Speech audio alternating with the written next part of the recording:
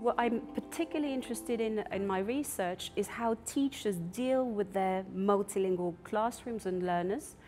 The reason for this is that like most Gambians, teachers have been, I've learned how to read and write in English, so they don't necessarily know how to read and write in their mother tongue or mother tongues. Also, there are hardly any resources available in uh, in those languages.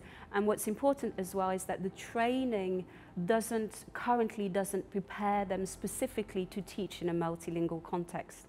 So the multilingual resources for primary schools in the Gambia toolkit emerged from the research but is a teacher training and what it does is that it introduces the teachers to the basic principles of mother tongue based uh, education, but the end goal really is to allow them to develop written teaching and learning resources where they embrace all the languages spoken by their learners. The toolkit the teacher training is going to be used by Gambia College, which is the national teacher training institution, to deliver a course.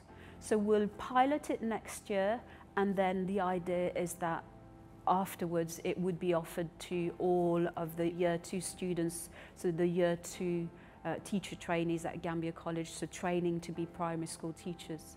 We've had uh, focus group sessions, feedback sessions when, when we started developing the toolkit to get feedback, and also session in schools where we tried some of the materials that, that we developed.